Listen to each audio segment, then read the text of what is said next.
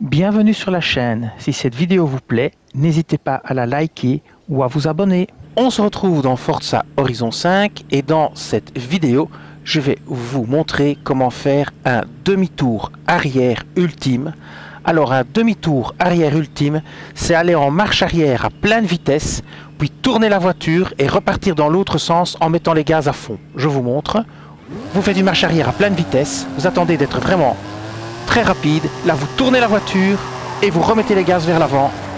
Et vous avez un demi-tour arrière ultime. Je vous remontre une deuxième fois. Je vous remontre une deuxième fois. Vous faites une marche arrière à pleine vitesse. Puis vous tournez la voiture et vous repartez en marche avant à pleine vitesse. Demi-tour arrière ultime. Et voilà. Je vous dis merci et à bientôt pour d'autres vidéos sur Forza Horizon 5. Cette vidéo s'achève ici. Je vous dis merci et à bientôt sur la chaîne.